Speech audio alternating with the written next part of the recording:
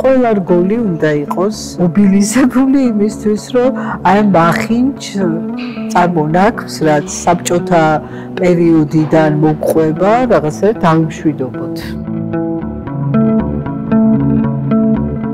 საქართველოში ყოველ მეხუთე ადამიანს კრიმინალური მენტალიტეტის მიმღებლობა ახასიათებს.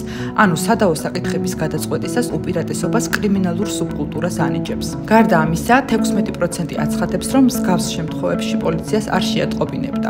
ასეთია 2024 წელს ჩატარებული კვლევის შედეგები, რომელმაც საზოგადოებაზე კრიმინალური მენტალიტეტის გავლენა და თანხლები ფაქტორები შეისწავლა. კვლევის ავტორები აღნიშნავენ, რომ მართალია რესპონდენტთა ძირითადი ნაწილი ამ ნაბიჯს არ გადადგამდა, თუმცა დასახელებული წილი საკმარისია იმისთვის, რომ ერთი მხრივ პოლიციისადმი შესაძლო უნდობლობაზე, ხოლო მეორე მხრივ კრიმინალური სუბკულტურის სერიოზულ გავლენაზე ვიმსჯელოთ.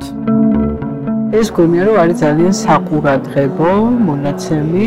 ამ კვლევაში ერთი ძალიან საინტერესო მინიშნება იყო გარკვეულ ჯგუფზე საზოგადოებაში, რომელსაც არ აქვს მკრძნობი, უფრო სწორედ ნორმალიზებული აქვს ამ კრიმინალური მენტალიტეტის არსებობა მის გვერდით და კრიმინალური ქმედებების, მაგალითად, ძალადობაში გამოხატული ქმედებების არსებობა, ხო?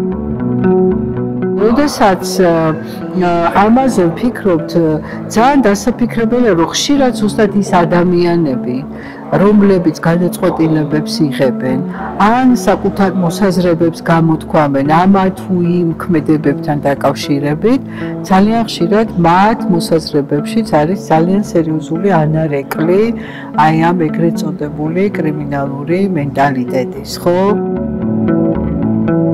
შერჩევითი მართლმსაჯულება ზოგადად თუ კარგად ჩავყვებით, არაფერია თუ არა და დაუშვა ძალიან კარგი წინაპირობა, რომ ასეთი ჯგუფები კიდე უფრო მეტად გაძლიერდნენ და ადამიანებს იქ იყო ხო, რომ გაუჩნდეთ სურვილი, რომ სამართალი ეძებონა რა ოფიციალურ სტრუქტურებში, არამედ ასეთ და ეს არის კატასტროფა იქნება თუ ჩვენ ამ გზით წავალთ.